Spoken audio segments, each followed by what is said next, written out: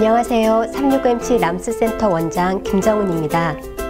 람스는 비만만 10년 넘게 연구해온 365MC에서 자체 개발한 신개념 지방세포 제거술인데요. 람스의 원리를 이해하기 쉽도록 간단한 실험을 준비해 보았습니다. 먼저 이 주사 바늘로 오렌지의 과즙을 뽑아 보겠습니다.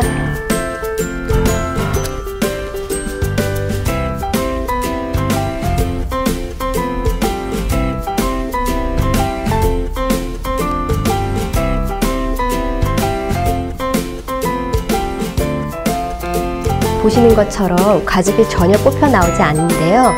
이번에는 람스 기구를 이용해서 오렌지의 과즙을 뽑아 보겠습니다. 이렇게 오렌지 속을 골고루 뚫어지는 과정이 터널링입니다.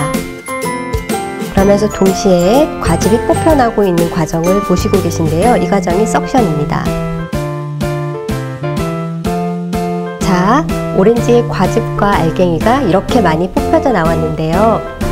오렌지는 보기에는 이렇게 한 덩어리 같지만 사실은 속껍질로 쌓여진 여러 개의 방들로 이루어진 덩어리입니다.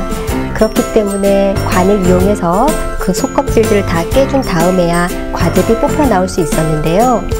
사람 몸의 지방도 이 오렌지처럼 속껍질로 쌓여진 여러 개의 방들로 이루어져 있습니다. 그렇기 때문에 특수한 기구를 이용해서 그 속껍질들을 다 깨줘야지만 지방이 많이 뽑혀서 나올 수가 있고 셀룰라이트가 제거될 수 있습니다. 이것이 람스의 원리입니다.